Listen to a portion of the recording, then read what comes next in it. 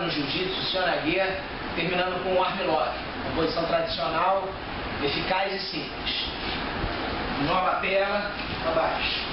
Entra o quadril, levantando, encaixa o cotovelo, gira o tronco, derrubou.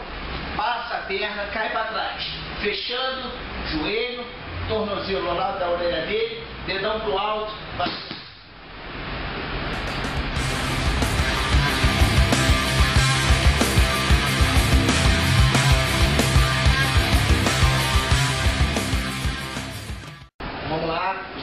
Continuando.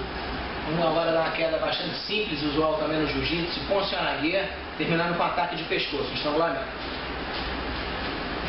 Aqui, na passada, abre espaço e entra. Girou o quadril, girou o tronco, derrubou, joga o peso.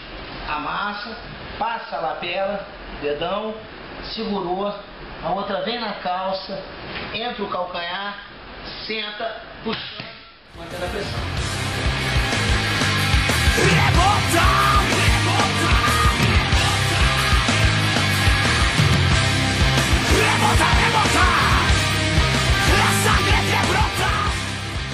Agora nós vamos fazer uma posição tradicional da nossa equipe, criada pelo mestre Oswaldo Alves, o ataque de guarda fechada, o armlock na guarda fechada.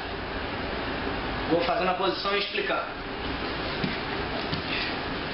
Fecha a guarda, barrigada, traz o braço dele para dentro. Adianto as pernas, escalo ele, vou escalando, prendo o ombro dele com, minha, com a minha perna, pesando, trazendo para mim ao mesmo tempo. Troco a pegada, e abraço a perna deles fugindo do meu quadril. Tiro o quadril todo de dentro dele. Agora essa minha perna esquerda vai pentear ele e a outra vai desequilibrar.